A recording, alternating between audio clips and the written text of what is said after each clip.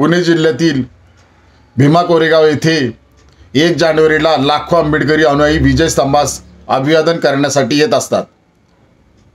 परंतु गेल्या दोन वर्षामध्ये कोरोना महामारी जगामध्ये आली आहे. आणि यामुळे आपण सर्व आंबेडकरी अनुयांनी चैत्यभूमी आणि दीक्षाभूमी येथे कमीत कमी लोकांनी कमीत कमी भीमसैनिकांनी जाऊन विनम्र अभिवादन केले. परंतु याही वर्षी ओमिक्रॉन नावाचा विषाणू पसरताना दिसत आहे.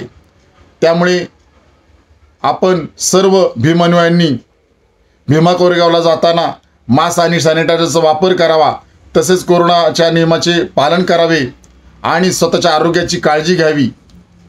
आणि कमीत कमी लोकांनी कमीत कमी भीम अनुयांनी विजय स्तंभास मानवंदना देण्यासाठी भीमा कोरेगावला यावे. असे आवाहन Republican Party of India Kharat पक्ष सर्व आंबेडकरी समाजाला करत आहे.